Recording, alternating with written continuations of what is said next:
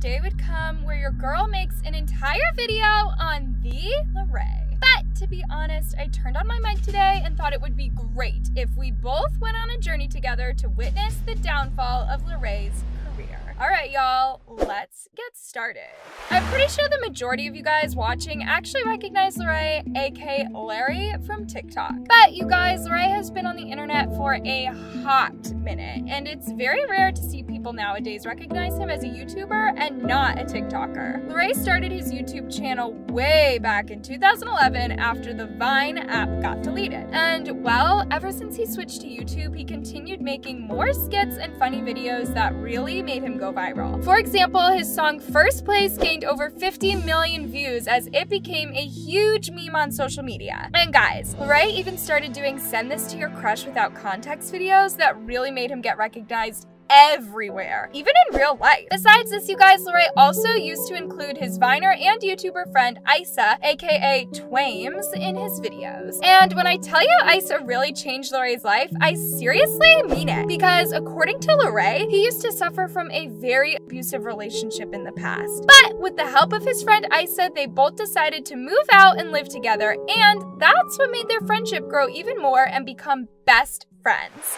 Yep, Larray was one of the few influencers who made a decision to move to LA to focus more on his career. But don't worry, he actually moved out with his best friend Isa as well, so that they both can be together and do more funny videos as usual. Although Larray did meet many new friends once he moved to LA, and surprisingly, that didn't really affect Larray's personality and relationship with his fans, as people still found him entertaining as hell. Ugh.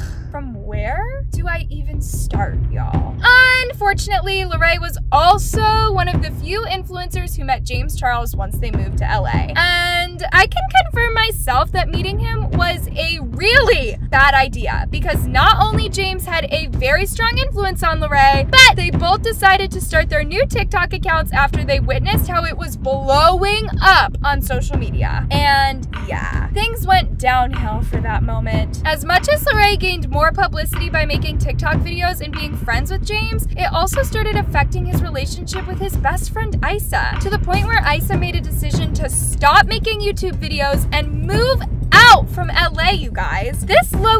Started many rumors on social media as to why Isa stopped hanging out with Larray. But it turned out later on that Isa wanted to focus on his mental health more, and he's still, in fact, best friends with Larray. Of course, when Larray took his own original and funny content to TikTok, a lot of TikTokers got very impressed by Larray's funny and entertaining personality. And from the moment right there, Larray started meeting many TikTokers to make collaboration videos, including Avani, Addison Rae, and even Charli D'Amelio. All these collaboration videos together made Larray himself forget about his own house and visit the Hype House every single day. And y'all, this situation actually forced Larray to officially become a member of the Hype House, since he thought it would be cool if he created content with many creators in the Hype House just to gain more followers and views. Despite how Larray became a huge social media star after joining TikTok, some of his OG fans started accusing Larray of being whitewashed. And that is because of him hanging out with many white TikTokers, since not only did his funny personality shift completely, but he even stopped posting many content on YouTube like he normally used to do. This situation disappointed many of his old fans to the point where people started making petitions to stop Larray from hanging out with white people. And guys, even Larray himself addressed the situation on social media later by saying this.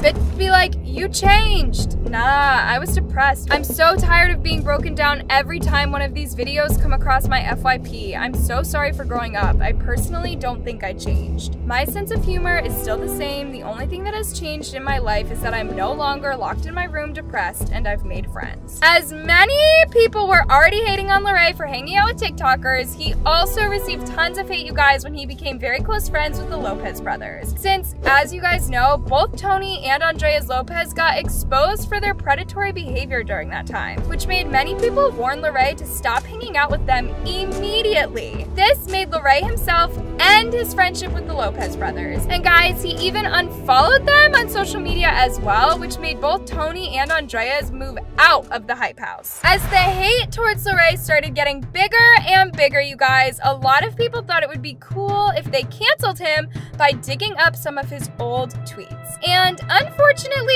people found some very insensitive tweets from Larray in the past as he made a joke about and y'all, he even got exposed for being transphobic as well after he said the T slur in one of his old tweets. Just came out of the mall and T guy at Hot Topic. My dad is a but I still love him, I guess. Even though those old tweets made Larray apologize to his fans multiple times for offending them, people kept throwing tons of hate at him for being transphobic and insensitive, you guys. One of the most successful yet unsuccessful moments of Larray's career was when he made a diss track called Cancelled on many of his TikTok friends and YouTubers. And y'all, his diss track literally made history in the Billboard Hot 100 as he became the first ever influencer to chart at number 81 with his diss track. But as millions of people supported Larray's diss track, some people somehow started realizing day after day how Larray actually made a very insensitive joke about Tony Lopez, since he jokingly made a comment about Tony's victims by saying Tony got a case. This ain't a race, Tony Lopez caught a case.